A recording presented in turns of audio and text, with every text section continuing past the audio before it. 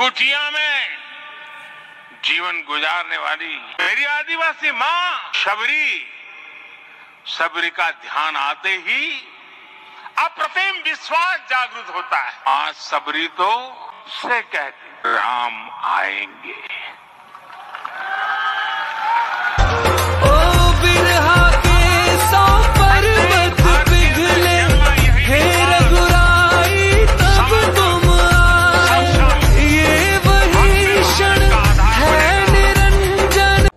नमस्कार दोस्तों आप सभी का एक बार फिर से स्वागत है मेरे नए ब्लॉग में एक नए एपिसोड के लिए। और ब्लॉग अगर, अच्छा लगेगा गाइस तो प्लीज़ लाइक और सब्सक्राइब करके हमारे चैनल को दीजिएगा ढेर सारा आशीर्वाद। और शेयर भी कर दीजिएगा। तो गाइज़ अभी देखा आपने कि प्रधानमंत्री जी ने हमारे श्री राम लला के प्राण प्रतिष्ठा के बाद अभी भाषण दिया और उसमें सबरी माता के बारे में कुछ कुछ बताया। तो सबरी माता के बारे में ही हमने सोचा कि फिर थोड़ा सा एक डिटेल वीडियो बना दिया जाए, थोड़े से उसके बारे में जानकारी आपके साथ शेयर कर लिया जाए, साझा कर लिया जाए। तो सबरी माता एक भील राजकुमारी थी। इनके पिता का नाम अज और माता का नाम इंदुमती था। ये बचपन में इनका दो नाम थे, एक श्रमणी के नाम से जानी जाती थी और फिर सबरी, दोनों नाम थे इनके। तो आप सभी दोनों नामों से परिचित होंगे। तो सबरी माता जो है बचपन से ही बहुत दयालु किस्म की थी। जब वो बचपन में खेली धीरे धीरे बड़ी हुई और वो क्या उनको पक्षियों से बात करने की कला सीख गई, पशुओं से बात करने की कला सीख गई तो क्या होता है जब बड़ी हो जाती हैं तो उनके पिता और माता दोनों उनके विवाह के लिए सोचने लगते हैं और एक दिन उनका विवाह तय कर देते हैं। और इसी विवाह की श्रृंखला में जैसा आपको पता है कि पहले पशुओं की बलि दी जाती थी और, वो उसके लिए क्या करते हैं कि राजा आज जो है, ढेर सारे अपने बाड़े में पशुओं को, पक्षियों को इकट्ठा करने लगते हैं। और, ये चीज़, लेकिन, नहीं पता होता सबरी माता को। सबरी माता एक दिन अपनी माँ से पूछ पड़ती हैं कि, माँ, अपने बाड़े में इतने ढेर सारे आजकल पशु पक्षी क्यों आ गए हैं?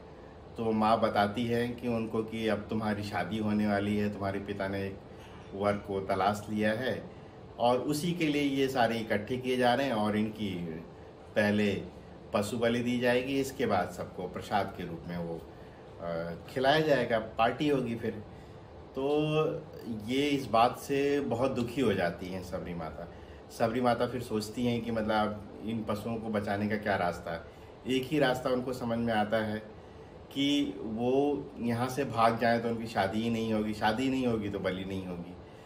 तो वो करती क्या है कि रात को जब सब लोग सो जाते हैं, बाड़े में घुसती हैं, बाड़े के सारे दरवाजे खोल देती हैं और सारे पशु पक्षियों को भगा देती हैं। तो यह क्या है? एक द्वारपाल देख लेता है। अब द्वारपाल ने देख लिया, सबरी माता बहुत डर जाती हैं और वो वहाँ से निकल के भाग जाती हैं। तो भागते भागते वो जंगल में पहुँचती हैं। ऋषियों का एक जंगल है जहाँ पे ऋषि मुनि लोग रहते हैं। अब ऋषि मुनियों को देख के वो माता वहाँ रुक जाती हैं और छिप के रहने लगती हैं। तो माँ का क्या काम था कि सबरी माता सुबह सुबह डेली ऋषियों की कुटियों के सामने फूल रख देना, सफ़ाई कर देना, ये सब करती थी डेली। लेकिन एक दिन वहाँ पे भी पकड़ी जाती हैं, क्योंकि ऋषि मुनियों को लगता था कि हमारे कुटिया का ये काम कौन कौन कर कौन कर देता है। तो एक दिन एक ऋषि मुनि सुबह सुबह उठ के हुए माता को रंगे हाथों पकड़ लेते हैं काम करते हुए। फिर पूछा जाता है फिर क्या हुआ कि माता से बोलते हैं कि भाई इनको अब पहुँचा दिया जाए राजमहल। तो लेकिन सबरी माता बोलती है, नहीं, मैं तो राजमहल नहीं जाऊँगी, अब यहीं रहूँगी, आप लोगों के साथ रहूँगी। तो लेकिन फिर भी क्या होता है गैस कि उनको रहने, रखने के लिए कोई तैयार नहीं होता है। फिर क्या आते हैं, मतंग ऋषि आते हैं। मतंग ऋषि बोलते हैं, नहीं, मैं इसको अपनी पुत्री के रूप में स्वीकार करता हूँ और मैं इसको ज्ञान यापन करवाऊँगा। और फिर क्या होता है कि मतंग ऋषि के मुनि के साथ ही रहने लगती हैं माँ। और माँ उनकी सेवा इतनी ज़्यादा करती हैं कि वो उनसे प्रसन्न हो तो आखिरी आखिरी क्षणों में मतंग ऋषि बोलते हैं कि अब मेरा जाने का समय आ गया है पुत्री। तो ये काफ़ी डर जाती हैं, काफ़ी मतलब दुखी हो जाती हैं सबरी माता।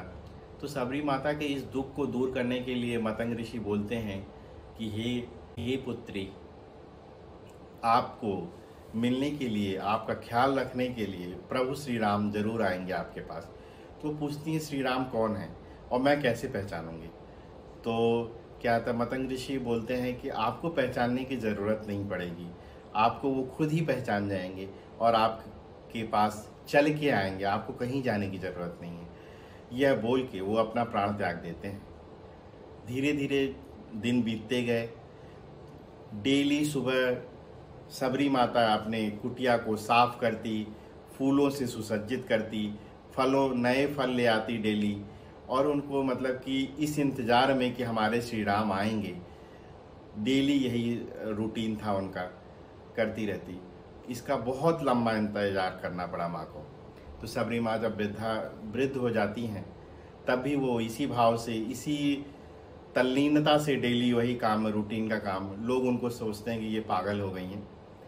तो सबरी माता, लेकिन फिर भी किसी की परवाह ना करते हुए अपने राम भक्ति में लीन कि राम जी ज़रूर आएँगे, राम जी ज़रूर आएँगे मेरी कुटिया में। क्योंकि मेरे पिताजी ने बोला है, पिताजी अर्थात मतंग ऋषि ने बोला था। तो सबरी माता का विश्वास, अटूट विश्वास जो था, उसी को हमारे प्रधानमंत्री जी ने यहाँ पे किया कि मतलब जो अटूट विश्वास होता है, वो आपको एक दिन सुनिश्चित मिल ही जाएगा। तो एक दिन राम और लक्ष्मण आ जाते हैं कुटिया तक उनके। उनको देख के वो भाव विभोर हो जाती हैं और उनके चरणों से लिपट जाती हैं। और माँ बोल पड़ती हैं कि मतंग ऋषि ने बताया था कि आप ज़रूर आएँगे और आप आ गए। तो इस निश्चल प्रेम और इस सबको देख के श्री राम जी उनको उठाते हैं, बोलते हैं, माँ, आपने इतने प्यार से बुलाया है तो आएँगे तो ज़रूर। तो उस माँ के और जो बेटे का जो रिश्ता है, उस तरह से वो निभाते हुए, वो जो भी उनकी सेवा करती हैं, उनकी चरण पखारती हैं दोनों दोनों लोगों के। चरण पखारने के बाद क्या करती हैं, उनको जो एक एक बेर चख के फिर श्री राम जी को देती हैं।